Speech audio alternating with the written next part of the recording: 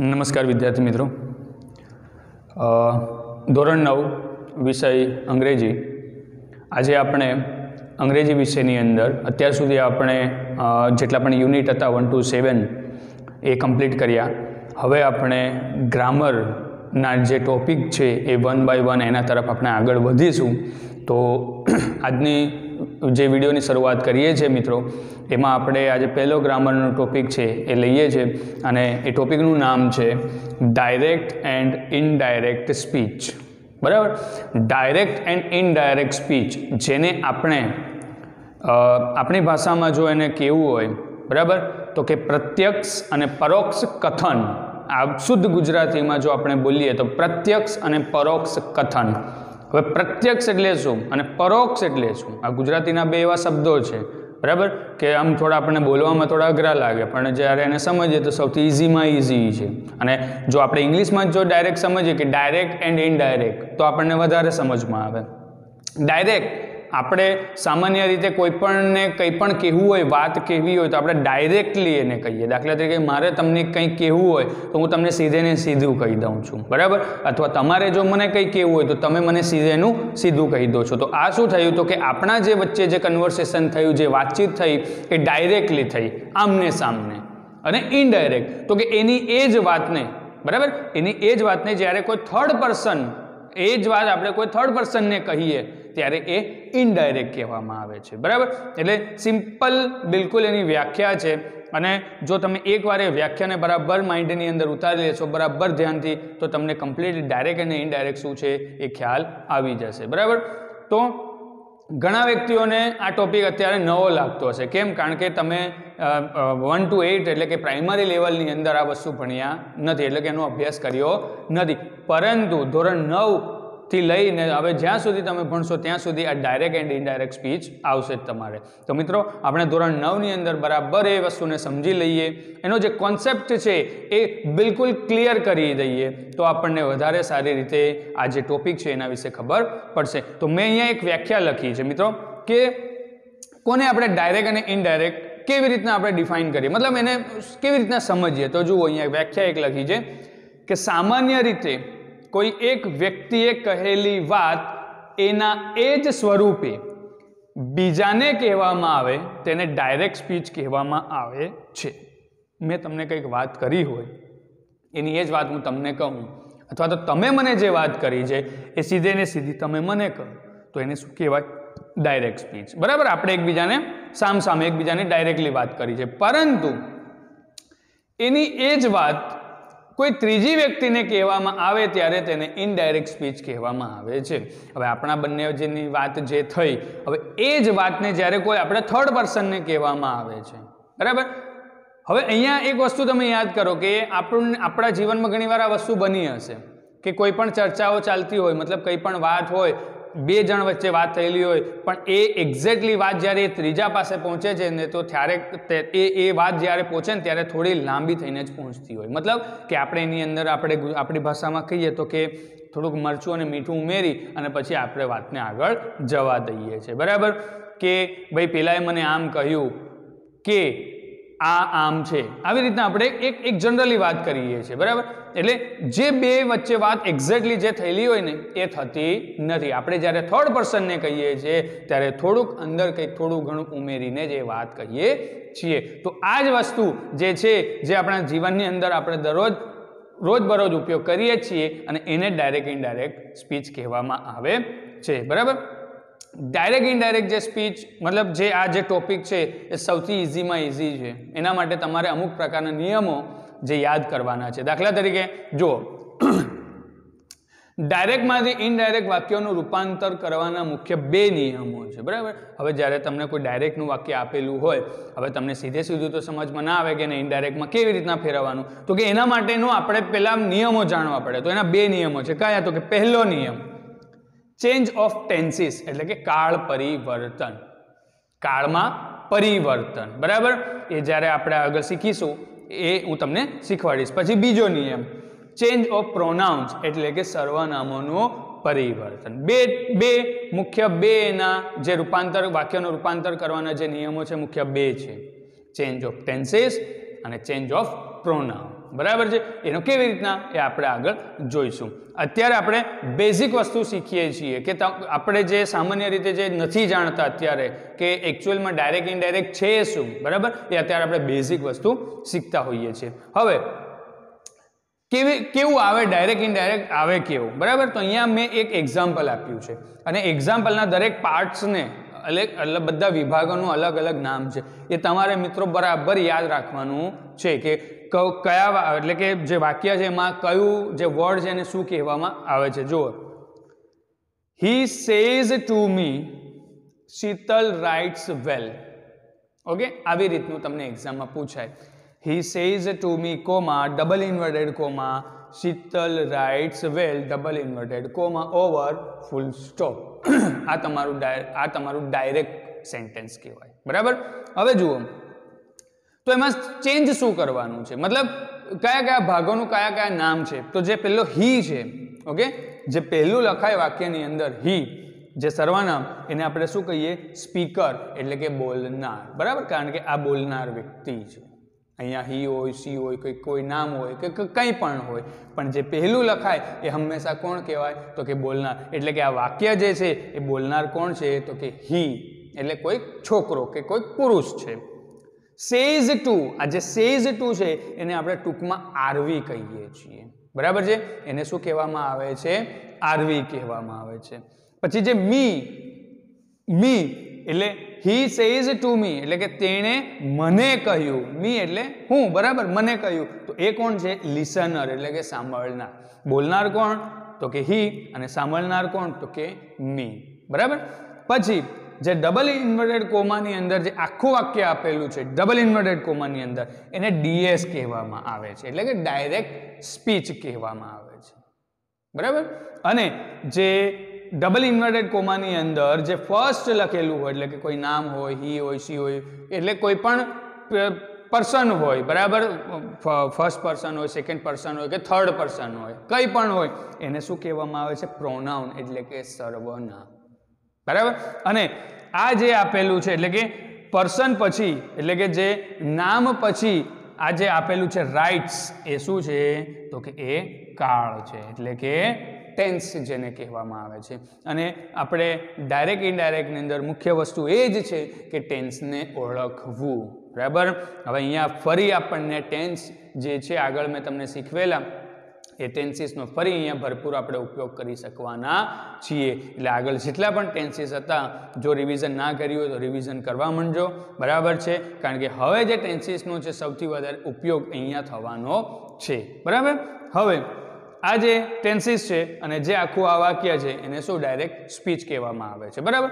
આ જેટલા પણ ભાગ છે, આ જેટલા પણ ભાગ છે, એ તમારે યાદ રાખવાના છે, નોટબુકમાં લખી પણ દેવાના છે એક્ઝેક્ટલી આવી રીતે. ક્લિયર આટલી વસ્તુ?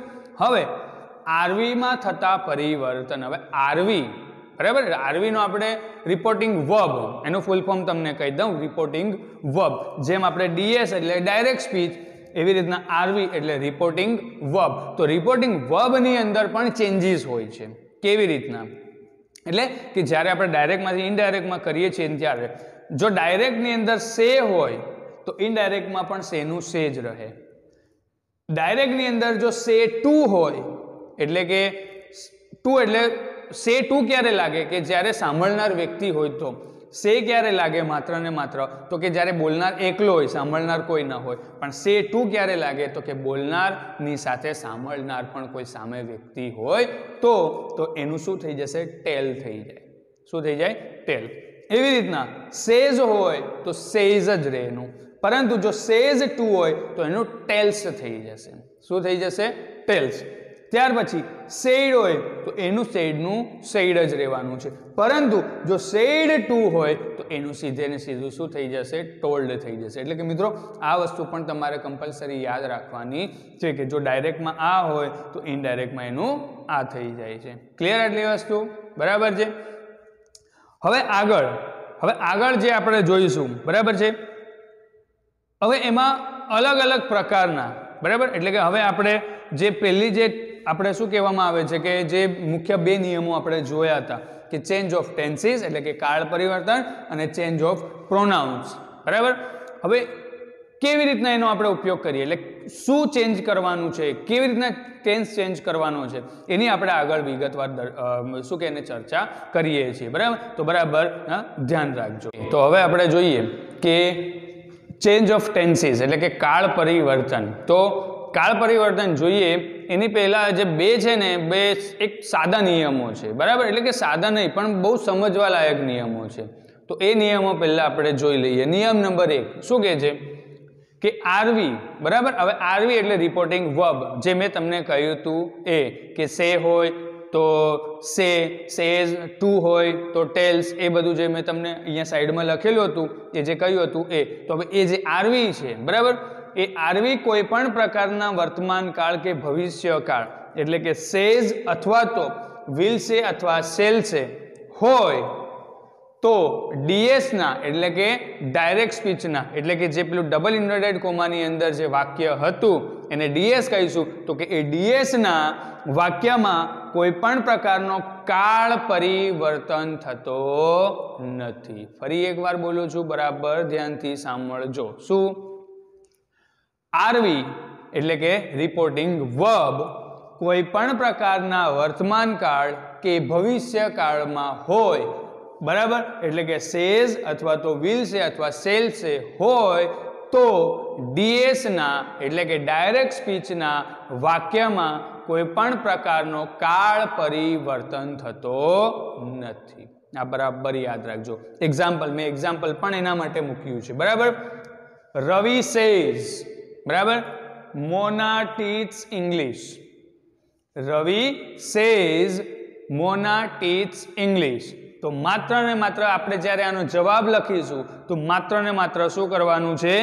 તો કે Ravi says that Mona teach English કશું જ કરવાનું નથી. માત્ર ને માત્ર શું ફેરફાર કરવાનો છે? તો કે અહીંયા ડબલ ઇન્વર્ટેડ કોમા કાઢી નાખવાના અને એની જગ્યાએ શું લખી કાઢવાનું? ધેટ લખી કાઢવાનું.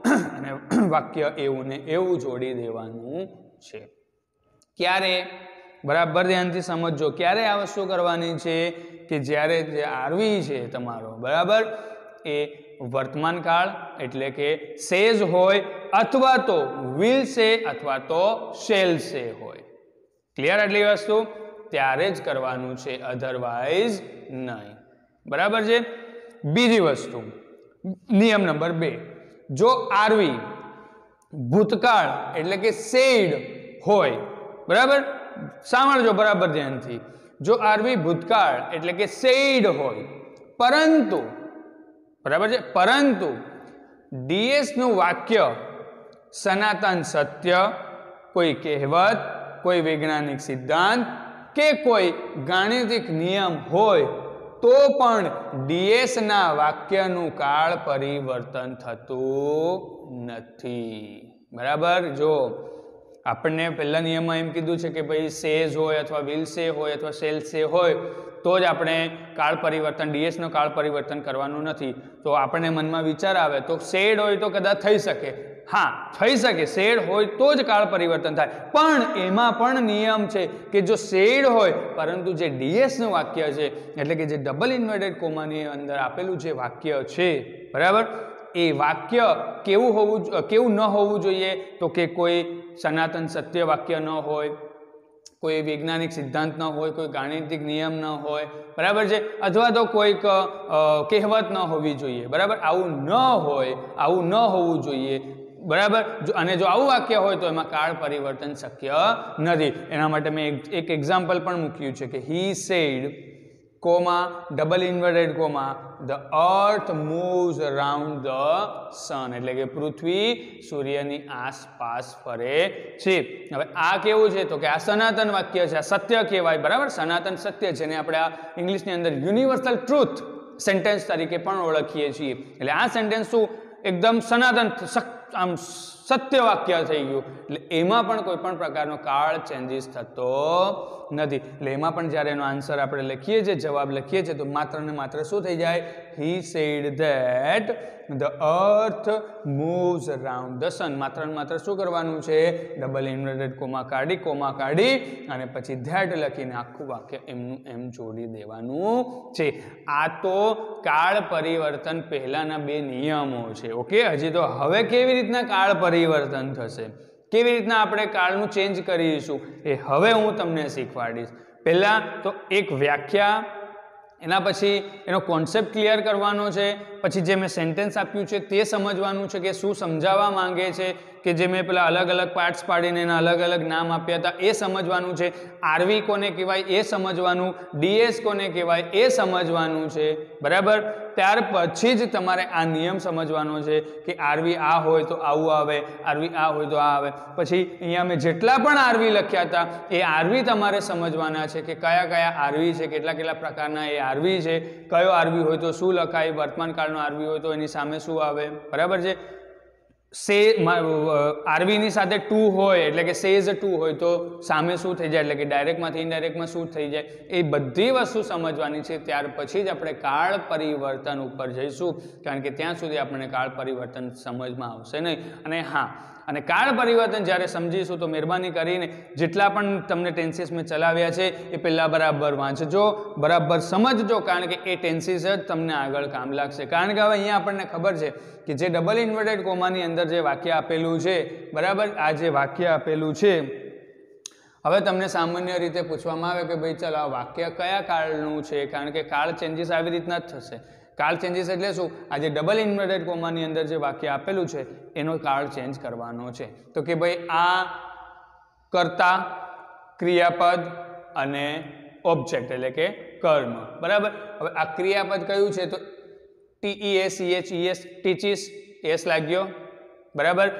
ઈએસ લાગ્યો. એટલે આ કયો કાળ થયો તો કે સાદો વર્તમાન કાળ. તો જો ડાયરેક્ટ સ્પીચની અંદર સાદો વર્તમાન કાળ હોય તો ઇનડાયરેક્ટ સ્પીચની અંદર એનો કોઈક અલગ જ કાળ બને છે. બરાબર? એ હવે જ્યારે આપણે કાળ પરિવર્તનના નિયમો હવે જ્યારે હું વન બાય વન ફરી સમજાવીશ, ત્યારે હું તમને એની અંદર આખું સમજાવીશ. અને ત્યાં સુધી અત્યારે માત્ર ને માત્ર આટલી વસ્તુ બરાબર થોડી મોડે કરજો. બરાબર? અને બરાબર ધ્યાનથી એ કરજો. પછીના નેક્સ્ટ વિડીયોની અંદર હું તમને આ જ ટોપિકની અંદર થોડું વિશેષમાં થોડું આપણે લઈ જઈશું. અને ત્યાં સુધી ટેક કેર તમારું ધ્યાન રાખો એન્ડ ગુડ બાય